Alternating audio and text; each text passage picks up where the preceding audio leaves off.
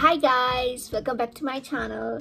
So um today i'm going to try a food review. So you have already seen on the topic. So i'm going to try the cheesy garlic toast at pizza hut. So um it's a really boring day today but i feel really hungry. I need to eat something special because i'm at home. So yeah we'll try it. So i'm going to put the order on pizza hut and we'll see you back with my cheesy garlic toast. And uh, guys i want to let you know that this video is not uh, sponsored. So this is i'm doing for my time passing and i really like to give up, uh, reviews about the foods that i am going to have. So yeah.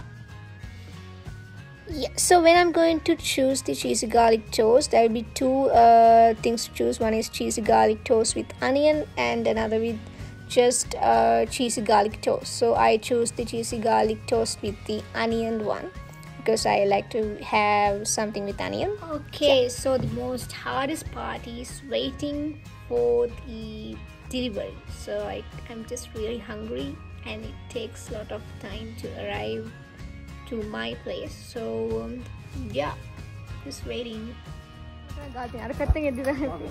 Ah. Hi. Thank you. Yes. Okay, thank you. Online payment, ne? Oh, online. Thanks. Ta-da! I got my order, so I'm going to open it. Mm, yeah, so we'll open it and see. okay so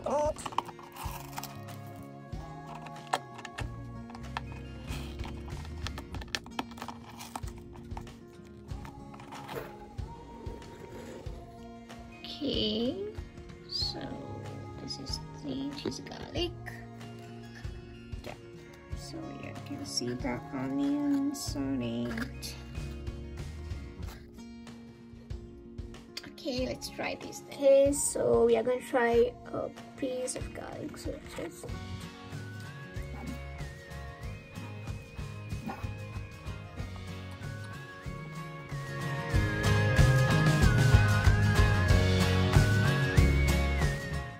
so really I can um, taste the cheese flavor of it because it's cheesy garlic toast so it's really delicious. And um, there will be you can see the onions and chili pieces and uh, some green chilies as well. So it's really tasty.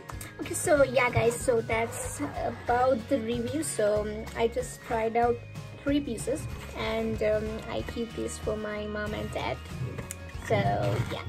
Um, that's it about the gravy and it's really good and it's really delicious. Thank you Pizza Hut. And yeah hope you like the video. If you like your thumbs up and subscribe my channel. So thank you watching and keep looking for a new video. Thank you. Bye